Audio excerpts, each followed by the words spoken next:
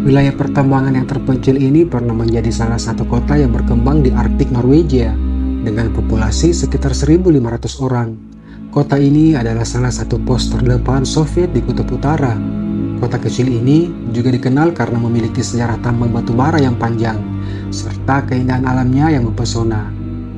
1998 menjadi titik awal kota ini benar-benar ditinggalkan, hingga menjadi salah satu kota hantu Rusia yang dikuasai oleh burung-burung Arktik, Pyramiden. Pemukiman pertambangan yang terletak di Samudra Arktik ini merupakan wilayah yang masuk dalam negara Rusia, tepatnya di Kepulauan Svalbard, Norwegia. Di belahan tempat ini banyak sekali kota yang dahulunya menjadi pemukiman, namun kini telah ditinggalkan. Salah satunya adalah Pyramiden. Karena alasan itu, Pyramiden pun dijuluki kota hantu di ujung dunia atau kota mati di ujung dunia. Sekitar tiga jam waktu tempuh dengan menggunakan kapal dari pelabuhan Longyearbyen, Svalbard. Kota ini dikelilingi oleh teluk dan pegunungan, menjadikannya sebuah kota yang terpencil. Meski demikian, segala fasilitas dan kebutuhan orang-orang yang bermukim di sini tercukupi, bahkan cukup mewah pada masanya. Ada banyak pilihan transportasi untuk sampai ke tempat ini, di musim dingin maupun di musim panas. Pada musim dingin, orang-orang melakukan perjalanan ekspedisi menggunakan mobil salju. Namun kebanyakan wisatawan akan mengambil paket perjalanan wisata pada musim panas dengan menggunakan kapal dan dipandu dengan pemandu wisata yang berpengalaman. Perjalanan wisata di musim panas sangat disarankan bagi wisatawan yang ingin datang ke Piramiden. Perjalanan dengan perahu atau kapal melalui pelabuhan Svalbard sebagian besar hanya mulai beroperasi pada bulan Mei dan berlanjut hingga September dan Oktober. Namun saat ini, wisatawan juga bisa mengikuti tur perahu di Svalbard pada musim dingin yang dimulai pada akhir Februari hingga awal Maret. Walaupun pada bulan-bulan musim panas, suhu di tempat ini sangat dingin dikarenakan letaknya di wilayah Arktik yang dekat dengan kutub utara sehingga jaket tebal menjadi hal yang wajib digunakan bila berkunjung ke tempat ini. Piramiden memiliki iklim yang sangat ekstrim, dengan suhu rata-rata di musim dingin sekitar minus 20 derajat Celcius. Namun di musim panas, suhu bisa naik hingga sekitar 5 derajat Celcius. Butuh satu jam perjalanan laut untuk sampai ke Skansbukta, yang merupakan perhentian pertama bila mengikuti tur wisata. Di tempat ini, wisatawan disuguhkan dengan pemandangan alam, berupa gletser Nordenskjöld yang berukuran besar, serta Gunung Piramiden yang tampak dari kejauhan. Dan bila beruntung, wisatawan juga bisa melihat beruang kutub dan ikan paus dari atas kapal yang hanya singgah kurang lebih 15 menit untuk kemudian melanjutkan perjalanan dan berhenti di dermaga tua Piramiden. Sesampai di dermaga Piramiden, wisatawan akan dijemput dan diantarkan sampai ke tanda Piramiden yang merupakan titik awal untuk menjelajahi kota di tempat ini biasanya pemandu wisata memberikan pengarahan kepada wisatawan. Semua pemandu wisata di Piramiden dilengkapi dengan senjata berburu untuk berjaga-jaga dari beruang kutub yang sering berkeliaran di tempat ini.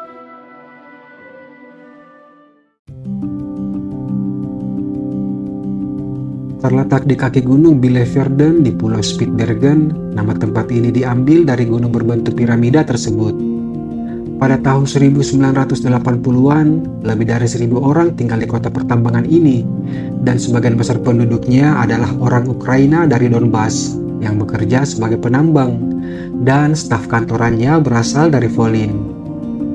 Wilayah ini awalnya dibangun sebagai kota tambang batu bara yang didirikan pertama kali pada tahun 1910 oleh perusahaan Swedia, yang kemudian dibeli oleh perusahaan Soviet pada tahun 1941 sekaligus mengambil alih kontrol atas tambang piramiden.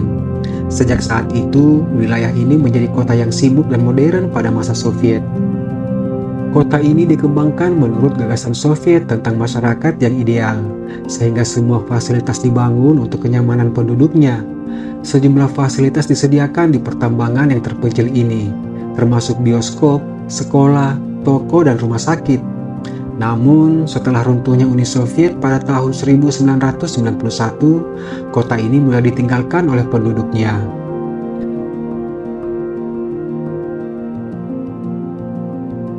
Pada April 1998, perusahaan pertambangan milik negara Rusia, Arctic Gold Trust, menutup operasi pertambangan piramiden setelah beroperasi terus-menerus selama 53 tahun. Dan sejak saat itu kota ini dibiarkan kosong. Sebagian besar bangunan masih berdiri seperti saat penduduk terakhir pergi meninggalkan wilayah ini. Sebagian besar penduduk tidak membawa serta perabotan mereka ketika meninggalkan piramiden karena beranggapan suatu saat mereka akan kembali. Namun, sejak 1998, pemerintah Rusia telah melarang orang-orang untuk kembali dan memberhentikan total segala aktivitas pertambangan di tempat ini. Meski telah dibiarkan kosong tanpa penduduk, sebagian besar infrastruktur dan bangunannya masih terpelihara Iklim dingin juga berperan dalam melestarikan sebagian besar dari apa yang telah ditinggalkan. Seiring berjalannya waktu, piramiden telah menjadi museum luar ruangan. Sebagai bukti sosialisme benar-benar ada untuk beberapa waktu di wilayah yang sangat sulit untuk dihuni manusia. Ciri khas kota yang dikembangkan pada era Soviet juga ditemukan di pusat kota ini, yaitu patung Lenin, yang merupakan simbol sosialis era Soviet. Patung ini masih berdiri kokoh dan menghadap langsung ke kota seperti sedang mengawasi piramiden. Di sekelilingnya masih tumbuh rumputan yang dulunya didatangkan jauh-jauh dari Siberia, dengan pemandangan ke arah gletser Nordenskjoldbrand yang indah di arah timur. Meskipun kota ini telah ditinggalkan selama bertahun-tahun, piramiden memiliki banyak keunikan dan daya tarik yang membuatnya populer di kalangan wisatawan. Kota ini dikenal karena arsitekturnya yang unik, terutama bangunan era Soviet seperti hotel dan bioskop. Piramiden juga menawarkan pemandangan alam yang luar biasa, seperti gunung-gunung yang menjulang tinggi dan gletser yang indah. Beberapa aktivitas yang dapat dilakukan di piramiden antara lain berjalan kaki atau hiking, memancing, dan melihat-lihat reruntuhan bangunan.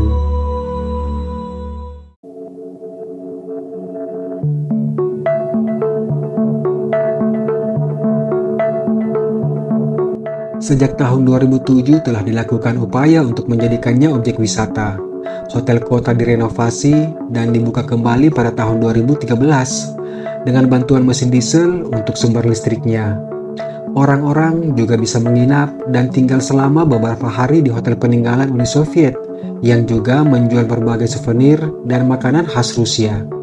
Ketika musim panas, ada populasi sekitar enam orang dari Svalbard yang ditugaskan untuk menjaga dan merawat sisa-sisa peninggalan Soviet yang masih utuh. Selain itu, mereka juga menyediakan berbagai kebutuhan untuk para wisatawan yang berkunjung ke piramiden.